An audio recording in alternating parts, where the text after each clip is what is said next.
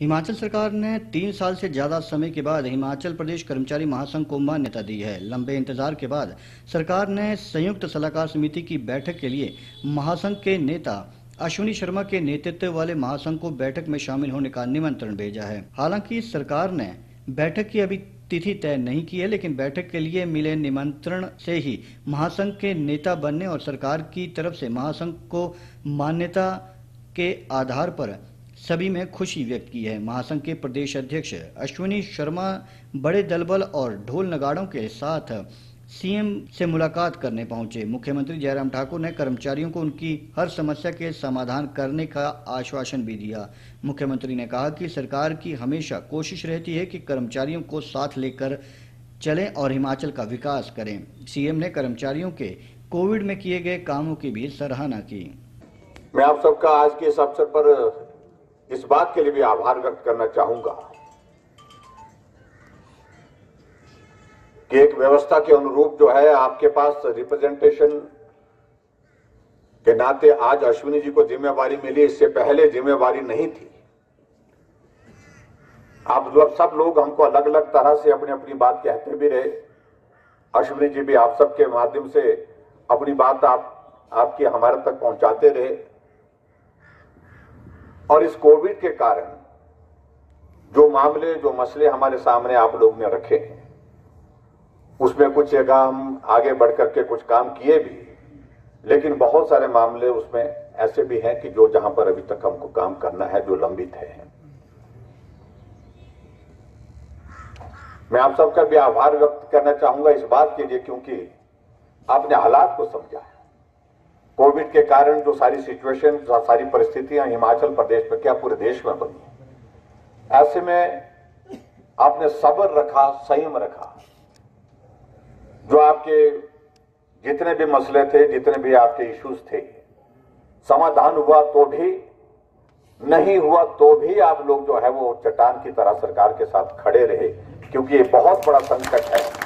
और ऐसे संकट में हमारी समस्या से ज़्यादा समस्या कोविड से निपटने की है। उसके लिए आप सब लोगों ने जो सहयोग दिया, और आपने फ़ील्ड में जाकर के भी बहुत सारे विभागों ने, स्वास्थ्य विभाग ने तो किया, एजुकेशन डिपार्टमेंट ने किया, एजुकेशन डिपार्टमेंट के साथ दूसरे जो हमारे हेल्थ डिपार्टमेंट के हैं, उन लोगों ने तो किया ही किया। लेकिन जहाँ भी जिसकी जिम्मेवारी जिस रूप में लगी कोविड की सिचुएशन में काम करने के लिए, आपने काम करने के लिए आगे बढ़ करके उसमें काम किया, सहयोग दिया। उसके लिए भी मैं आप सबका बहुत बहुत धन्यवाद करता हूँ। अब आपके लिए एक प्लेटफॉर्म मिल गया। एक नेतृत्व तो मिल गया। मेरा आप सबसे इस बात के लिए और खासतौर से अश्विनी जी से हैं, राजेश जी, और उनके साथ साथ में जितने भी आप अलग अलग जिलों के प्रतिनिधि हैं, प्रदेश के हैं, हमारे प्रतिनिधि हैं यहाँ पर। अब बैठ करके चर्चा करें। हम ये चाहते हैं कि सबके साथ सबके सब मिल करके चले इकट्ठा हो करके चले। उसमें आनंद है क्योंकि इस प्रदेश को ऐसी परिस्थिति का सामना कभी भी नहीं करना पड़ा जिस परिस्थिति के दौर में से आज की तारीख में हम निकल रहे हैं। और ऐसे हालात में मिलकर के चलना बहुत आवश्यक है। और मैं सरकार की ओर से इस बात को सुनिश्चित करूँगा कि जो किया जा, जा सकता है वर्तमान हालात उसमें कहीं भी किसी भी प्रकार के कर्मचारियों के हितों के जो रक्षा करने की जो बात होगी सरकार पीछे नहीं रहेगी उसमें आगे बढ़कर के उसमें काम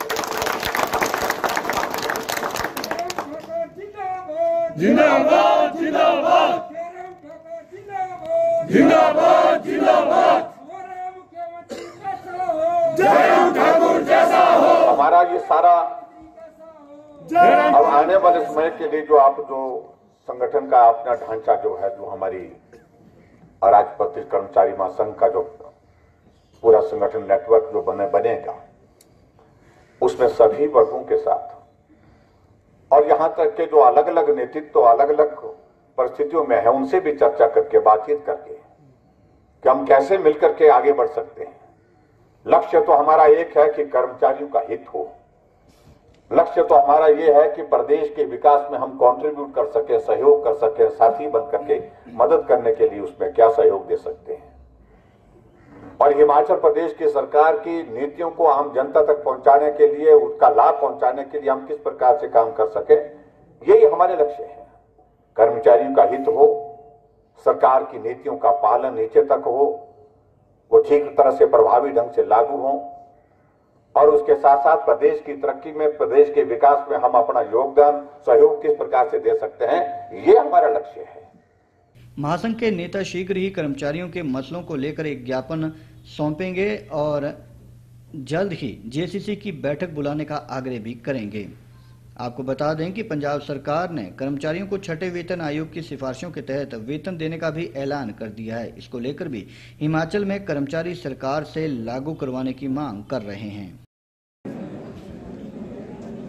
सर्वप्रथम मैं राज्य सरकार का समस्त राज्यों के कर्मचारियों की तरफ़ से धन्यवाद करता हूँ, क्योंकि पिछले डेढ़ पौने दो वर्ष से जो परिस्थितियाँ प्रदेश, देश चली है जिस कारण राजपत्रित कर्मचारी महासंघ कर्मचारियों की जो मांगे हैं एक मंच है मतलब किसी भी स्तर पर ना कर्मचारी काम कर पाए ना राज्य सरकार काम कर पाई सिर्फ़ कोविड ही कोविड चला रहा जैसे ही राज्यों में परिस्थितियाँ साम, सामान्य हुई तो सरकार को जो लगा जिस सरकार का क्षेत्राधिकार है मेरा जो विभागीय संगठन है जिस संगठन में पिछले 18 साल से काम कर रहा हूँ, लगभग छप्पन हज़ार उसकी तादाद है।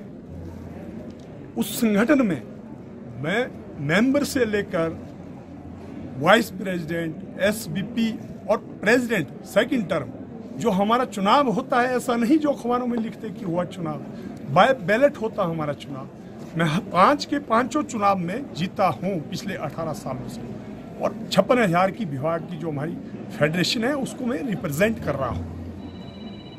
संविधान के अनुसार जो एनजीओ का संविधान है, सबसे पहले आपको विभागीय स्तर पर कार्य करना पड़ता है। आपके विभागीय चुनाव हो।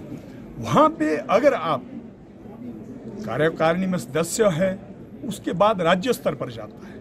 और अपने नॉन टीचिंग फेडरेशन में राज्य स्तर का कार्यभार भी मेरे पे वहाँ भी मैं प्रधान हूँ। तो बिल्कुल संविधानिक तरीके से हम आए और आगे बढ़े। और सरकार ने देखा कि मत कहाँ है, बहुमत कहाँ है, वो आप लोगों ने भी देखा, पूरी दुनिया ने देखा। चार घंटे में हर विभाग का कर्मचारी, हर विभाग की एसोसिएशन यहाँ पहुँच गई शिमला इतने दूर। उसके बावजूद भी हमने जो कल मैसेज दिया था राज्यों को कि दूर से आने की ज़रूरत नहीं है, मौसम खराब है। नहीं आए। मगर हमारे शिमला जितने भी निदेशालय और हेड ऑफ़िस है राज्य स्तर के शिमला पे और बढ़ चढ़ कर पदाधिकारी हर संगठन के लोग आए और माननीय मुख्यमंत्री का धन्यवाद किया। अब कैसे कर्मचारी हितों की बात आगे ले जाएँगे और कैसे सरकार से अपने जो बातें करेंगे और क्या ऐसे इम्पोर्टेंट इश्यूज़ जो गवर्नमेंट के साथ डिस्कस होंगे क्या अब इशू सातवें छठे वेतन योग की सिफारिश राज्यों में लागू होनी है। एनपीएस है। चार नौ चौदह है। जो कॉन्ट्रेक्चुअल पीरियड है, वो रिड्यूस होना है। कॉन्ट्रेक्चुअल सीनियरिटी का मुद्दा है। अभी अभी गवर्नमेंट ऑफ़ इंडिया ने जो डी फ्रीज किया था, वो भी रिलीज़ कर दिया है गवर्नमेंट ऑफ़ इंडिया के एम्प्लाई को। तो इस तरह की बहुत सारी मांगे हैं। हम बड़े जल्दी, शीघ्र से ही एक कार्यकारिणी का विस्तार करेंगे। राज्य स्तर पर, जिला स्तर पर। आपसी समन्वय में बिठा के, मिलजुल के, उसके बाद एक डिमांड चार्टर बनाएँगे। हम बड़े जल्दी सरकार से जेसीसी के लिए तिथि मांगेंगे, डेट मांगेंगे, और उस पर हम हर इशू पे चर्चा करेंगे और स्ट्रांगली हम सरकार के समक्ष कर्मचारियों की मांग रखेंगे। माननीय मुख्यमंत्री महोदय भी कह चुके हैं कि वो कितने पॉजिटिव है कर्मचारियों के प्रति। काफ़ी वर्षों से कर्मचारियों के साथ जो मांगे हैं नहीं हो पाया, डेढ़ साल से कोई काम नहीं हो पाया। तो अब वक्त आ गया है कि कर्मचारियों को अपने हितों के लिए सरकार के सामने मिलजुल के सामूहिक प्रयास करना है और हर संभव अपनी मांगे मांगने मनवाने का हम प्रयास करेंगे।